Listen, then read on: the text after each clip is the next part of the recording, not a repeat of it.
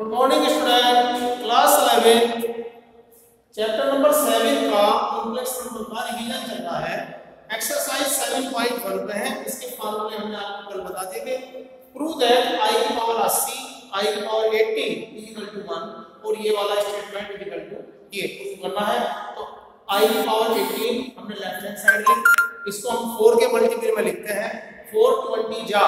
80 i की power 4 की power 20 i की पावर 4 की वैल्यू होती है 1 1 की power 20 equal to 1 right hand side आ गई लेफ़्ट हैंड साइड लेते तो ये प्रूव हो गया अब इसका सेकंड पार्ट इसको लेफ़्ट हैंड साइड को लेके चले हैं i स्क्वायर i की पावर 4 i की पावर 6 i की power 7 upon 1 plus i square i की पावर 3 i स्क्वायर की वैल्यू माइनस वन i की पावर 4 की वैल्यू 1 i की पावर 6 में डिस्ट्रीब्यूट कर दिया।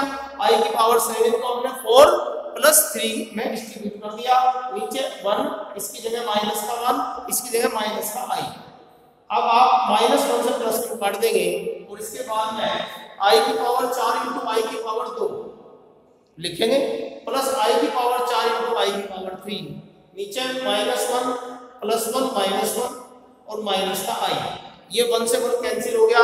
I की पावर चार की वैल्यू वन लिखेंगे। I स्क्वायर की जगह माइनस वन लिखेंगे। ये लिखे हैं फॉर्मूले और i की पावर चार की जगह वन i की पावर तीन की जगह माइनस i ये आ गया माइनस का वन माइनस का i upon minus i minus common ले लिया। One plus i upon i आ गया। मैंने कल भी बताया था आपको, जो डिनोमिनेटर में आई होता है, उसको हम वहाँ से हटाने की कोशिश करते हैं। तो ऊपर नीचे आई से इंटू करेंगे। तो ये आएगा i भी वन में करी i आ गया i भी इंटू i में करी i स्क्वायर आ गया i माइनस की i स्क्वायर की वैल्यू माइनस वन हो गई i into i i square हो गया, i स्क्वायर की वैल्यू यहाँ से रखेंगे माइनस का वन तो माइनस इसमें से माइनस माइनस ये चला गया ऊपर। I माइनस वन माइनस की मल्टीप्लाई अंदर कर देंगे तो माइनस का i प्लस का वन हो जाएगा, और ये आ जाएगा वन माइनस आई यही है आपकी राइट हैंड साइड इस तरीके से आप इसके पार्ट को सोल्व करेंगे, इन फार्मूलों का प्रयोग करेंगे। इससे आगे टॉपिक को हल को बताएँगे। Thank you